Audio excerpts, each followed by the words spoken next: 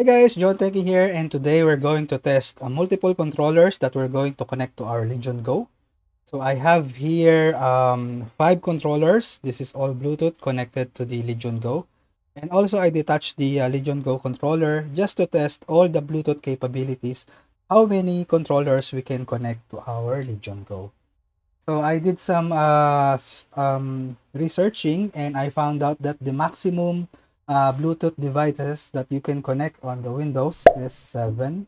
So in total, we have 7 um, Bluetooth connection because the um, Legion Dock controllers has two separate Bluetooth controllers that you can connect to the uh, device. So now we're going to test every controller if we're going to have some delays or we have some latencies playing the uh, game using all the controllers. So the best game to test all the six controllers that we have are, of course, Ninja Turtles Shredder's Revenge. So let's start. So now we're going to use the uh, main controller of the Legion Go.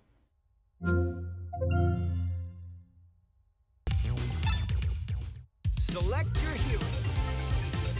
Okay, first we're going to try the PS4 controller. So you can see this is very worn out controller.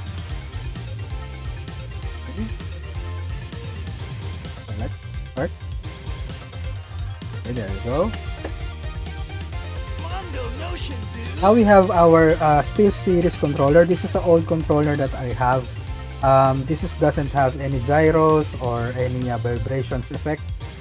But yeah, I'm going to connect this on. I already paired all the controllers just to make it easier for us. Now it's connected. There. Okay. Now we have our FlyDigi controller. This is also has a Bluetooth compatibility. On. Connected. There. And next we have our GuliKit controller. This is GuliKit uh, Kong 3 I think. I forgot. But yeah, this is one of my latest controllers. So let's uh, on it. Okay. And lastly, we have our 8BitDo SN30 Pro. This is one. This is my latest controller that I'm using currently. So let's uh, press start. There. On. All right. So let's try it and see if we are going to have any delays or latencies.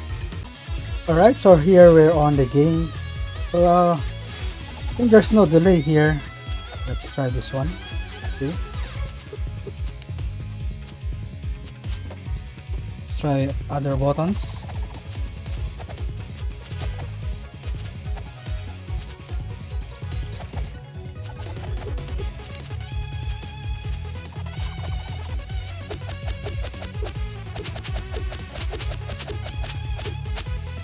Let me show you a uh, bigger screen.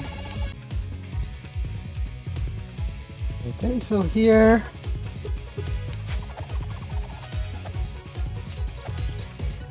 Yep. I think everything's working fine. Cannot see any uh, delays here.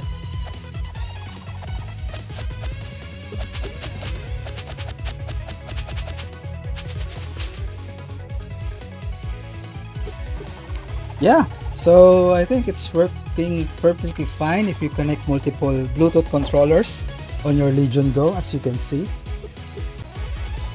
If you have lots of friends, this is a great game. If you have a lot of controllers or they can bring their own controllers, yeah, it's perfectly working with your Legion Go as you can see.